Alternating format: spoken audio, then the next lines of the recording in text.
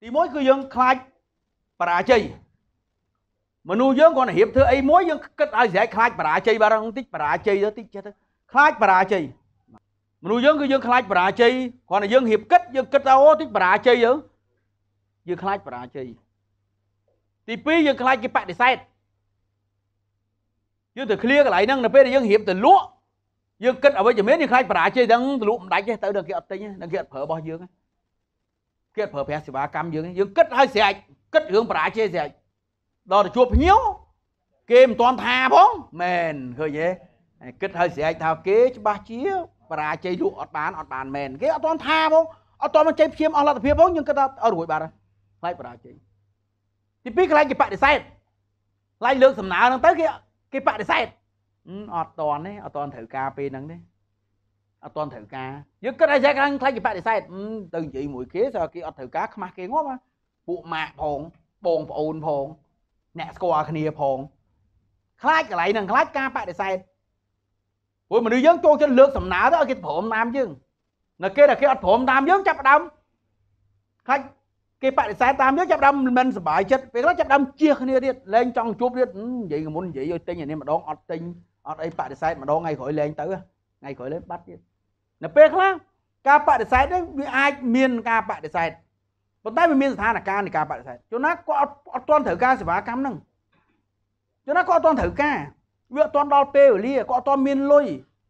ឱកាសអត់ទាន់មកឲ្យអត់ទាន់ឲ្យអត់ទាន់ដល់អញ្ចឹងវាមានការខ្លាចការបដិសេធហ្នឹងឯចំណុចការខ្លាចទី3គឺខ្លាចការរិះគន់មនុស្សយើងដកការខ្លាច3ហ្នឹងចេញអ្នកលក់ដល់កម្ពុជាដកការខ្លាច3ហ្នឹងចេញ ដកការខ្លាច3នេះអត់មានអធិពលចំពោះយើងទេមនុស្សជាច្រើនខ្លាចខ្លាចគេរិះគន់អឺអាដើរលក់មកថ្ងៃណាក៏លក់លក់ផ្ទះតិចលក់នេះតិចលក់នោះខ្លាចគេរិះគន់អូមកើតទេខ្លាចគេរិះគន់ថាយើងមនុស្សមិនល្អអញ្ចេះតាមពិតទាំងអស់ហ្នឹងគឺជាការដាក់អត្តន័យសាច់រឿងពិតមិនមែនអញ្ចឹងទេអានេះខ្ញុំនិយាយពីការដាក់អត្ថន័យយើងការដាក់អត្ថន័យមនុស្សយើងគឺជាទូទៅអ្នកលក់ហ្នឹងគឺគាត់ដាក់អត្ថន័យខ្លួនឯង គ្រាន់តែជួបគេដាក់អត្ថន័យហ្នឹងតិចបរាជ័យទៅជួបគេបរាជ័យទៅអូខេអឺតិចគេបដិសេធទៅអូខេអឺតិចគេរិះគន់យើងទៅអញ្ចឹងកន្លែងនេះខ្ញុំចង់ឲ្យបងប្អូនយល់ថាទាំងអស់នេះគឺជាការដាក់អត្ថន័យមនុស្សយើងអ្នកដែលបរាជ័យជាច្រើនគឺដោយសារការដាក់អត្ថន័យភាគច្រើនទាំងអស់ហ្នឹងមិនដូចជាការយើងគិតទេប៉ុន្តែយើងจะដាក់អត្តន័យ3នឹងចូលអត្តន័យនៃការបដិសេធរិះគន់ការបដិសេធបរាជ័យ យើងមិនទាន់បានគិតមិនទាន់បានធ្វើសកម្មភាពផងបដិសេធការបរាជ័យចាប់ដើមគិតឲ្យស្រេចថាអូនឹងមានការបរាជ័យកើតឡើងមកអូខេបាទអញ្ចឹងអញ្ចឹងជៀសវាងការទាំងអស់ហ្នឹងហើយខ្ញុំនឹងនឹងចែកនឹងចែកម្លែកបងប្អូនអរគ្នាអំពីការដាក់អត្តន័យមនុស្សយើងឬក៏យើងជាទូទៅតែងតែដាក់អត្តន័យឧទាហរណ៍យើងតេទៅមិត្តភ័ក្ដិលោពូម៉ាចង់នេះចង់ខ្ចីអូនខ្ចីលុយលោកមកចង់ខ្ចីលុយ100សិនបិទដាច់បាត់ យើងដាក់អត្តន័យជួយអានេះគាត់លឺខ្ចីលុយ100បិទបាត់ទៅណាយើងដាក់អត្តន័យយកមកខាងក្រោយពួកម៉ាក់ក៏មុនធ្លាប់ខ្ចីអីដែរដល់តែខ្ចីវាវិញវាបិទទូរស័ព្ទវាអីទៅណាចំពេលគាត់អស់ថ្មចំពេលគាត់ប្រជុំ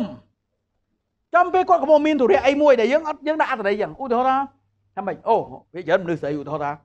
ប្តីទៅធ្វើការចុះធ្វើការហ្នឹងម៉ោង6 5កន្លះ6មកដល់ផ្ទះអត់ដល់6មកដល់ផ្ទះលឿងអី6កន្លះមិនទាន់មកដល់គាត់មើលម៉ោងគាត់គិត អាគាត់ហ្នឹងផឹកហ្មងគេផឹកមួយមិត្តភ័ក្ដិហ្មងអីហ្មងគាត់ចាំដាក់អត្តន័យរាប់រយអត្តន័យឡើងមកមកកើតឡើងមកក្នុងខួរក្បាលកើតឡើងមកហ្មងដាក់អត្តន័យភ្លាមហ្មងប្រហែលជាគាត់ហ្នឹងទៅផឹកចេះដាក់អត្តន័យបន្ទាប់មកជឿថាអានេះជាការពិតហើយចាប់បានបង្កើតបញ្ហាឡើងមកដល់ព្រមស្វែងយល់អំពីរឿងពិតកូនកូនទៅរៀនកូនទៅរៀនទៅម៉ោងប្រហែលជា5កូនមកចំណាម៉ោង5បាទនិយាយមួយកូនទៅរៀនម៉ោងម៉ោង5មកដល់មកផ្ទះចាប់តែម៉ោង6កន្លះអត់មក ម៉ោង7កូនមកវាយហ្មងវាយឲ្យយោវាយយោវាយយោហ្នឹងទៅដល់យើងគិតឃើញថាប្រហែលជាវាទៅដើរលេងមួយពួកម៉ែហើយម៉ោង7អត់តទៅផ្ទះដល់វាយហើយបានសួរកូនថាម៉េចឯងទៅមកពីណាអញ្ចឹងកូនថាពួកម៉ាក់បែកកង់មកធ្លាប់ទៅរៀនមួយគ្នាពួកម៉ាក់ខូចកង់ដល់អញ្ចឹងកំដរពួកម៉ាក់បដើកង់មកផ្ទះទាំងអស់គ្នាឲ្យហ៊ានដល់ពួកចៅពួកម៉ាក់អញ្ចឹងក៏ស្ដាយក្រោយនៅអ្វីដែលយើងបានវាយចឹងធ្វើមនុស្សកុំដាក់អត្តន័យរឿងអីដល់ស្ពាមស្វែងយល់ការពិតកុំដាក់អត្តន័យបាទកុំដាក់អត្តន័យ បងប្អូនមើលឃើញអីគេបងប្អូនអត្តន័យនឹងមានផ្សេងផ្សេងក្នុងខួរក្បាលយើងនេះអ្នកខ្លះជួយគ្រូឆ្លើយមកនិយាយគប់ដោបពុបប៊ីត្រូវក្បាលអីឲ្យកិច្ចចង់មកអ្នកខ្លះដាក់អត្តន័យយ៉ាងខ្លះនិយាយនិយាយខឹងរឿងអីខាងនោះអត់ប្រហែលអ្នកនោះអត់ស្ដាប់គាត់ហើយខាងនេះគាត់ស្ដាប់មើលគាត់អាចគិតអញ្ចឹងហើយខ្ញុំនិយាយពីការដាក់អត្ថន័យបងប្អូនរៀនស្វែងយល់ពីការដាក់អត្ថន័យដាក់អត្ថន័យផ្សេងគ្នាហ្មងអ្នកខាងនេះអាចគិតថាហើយខាងនោះអត់ស្ដាប់គាត់គាត់គប់ទៅហ្មងមិនគាត់គប់គប់អត់ចំគប់ល្បេះដៃ អ្នកខាងនេះជួយឯងមិញអង្គុយសរសេរមិញគាត់ឃើញសរសេរឬឈ្មោះចុចទូរស័ព្ទហ្នឹងគាត់គប់ឯងមិញអញ្ចឹងយើងអត្តន័យរៀងខ្លួនហ្មងយល់ហើយបងប្អូនយល់ហើយហ្នឹងខ្ញុំបងប្អូនយល់កតាចិត្តសាស្ត្រនេះយើងដាក់អត្តន័យរៀងខ្លួនហ្មងអ្នកខាងនេះដាក់អត្តន័យផ្សេងអ្នកខាងនេះដាក់អត្តន័យផ្សេងអត្តន័យផ្សេងផ្សេងគ្នាហ្មងបាទអញ្ចឹងចំណាយខ្ញុំអាចឃើញសត្វកឡាតមួយរត់ហ្នឹងខ្ញុំគប់សត្វកឡាតឬគប់សត្វពស់ណាមួយដែលវានៅក្បែរហ្នឹងយើងគប់វាវាអាចមានរឿងផ្សេងគ្នានៃអត្តន័យដែលខ្ញុំធ្វើហើយនៅបងប្អូនមើលឃើញវាខុសគ្នាចំណាយយើងទៅលក់ អតិជនមិនទាន់ថាអីផងយើងដាក់អត្តន័យឲ្យស្រេចអូជួបពីរដងមិនជួបតែហៅឲ្យពីរដងឲ្យណាត់គ្នាពីរដងអត់មកអត់ជួបមើលដាក់អត្តន័យឲ្យស្រេចមកយើងដាក់អត្តន័យរៀងខ្លួនហើយយើងយល់ថាអ្វីដែលយើងដាក់អត្តន័យវាជាការពិតវាជាការពិតនៅក្នុងខួរក្បាលរបស់យើងដល់យើងអត់ព្រមស្វែងយល់ចំណាំមិត្តភ័ក្ដិអន់ចិត្តគ្នាដោយសារការដាក់អត្តន័យដាក់អត្តន័យរៀងខ្លួនទៅអន់ចិត្តគ្នាបែកបាក់មិត្តភ័ក្ដិបែកបាក់ក្រុមការងារ បែកបាក់អតិថិជនដោយសារការដាក់អត្តន័យយើងចេះដាក់អត្តន័យយើងជឿថាហ្នឹងវាជាការពិតរបស់យើងវាជាការពិតនៃការដាក់អត្តន័យបាទមានឱកាសខ្ញុំនឹងបង្រៀនបងប្អូនពីការដោះនៃការដាក់អត្តន័យឲ្យយើងយល់ដល់ម៉េចដើម្បីយើងរឹងមាំពីព្រោះមនុស្សយើងយើងរស់នៅសេចក្តីពិតយើងដឹងរឿងពិតទៅយើងអាចធ្វើការវាខ្លាំងបើយើងធ្វើការស្មានស្មានច្បល់ច្បល់លទ្ធផលបានមកគឺច្បល់ច្បល់ស្មានស្មានយើងធ្វើការលេងលេងគិតលេងលេងលទ្ធផលមកគឺលេងលេង អត់មានចាំបាច់ឲ្យពិបាករករូបមន្តណាយើងគិតលេងលេងយើងដើរដាក់អត្តន័យមួយថ្ងៃមួយថ្ងៃយើងដាក់អត្តន័យឃើញតែ Facebook យើងដាក់អត្តន័យយើងឃើញរឿងអីមួយយើងដាក់អត្តន័យយើងឃើញអីមួយយើងដាក់អត្តន័យដែលយើងអត់បានស្វែងយល់រឿងពិត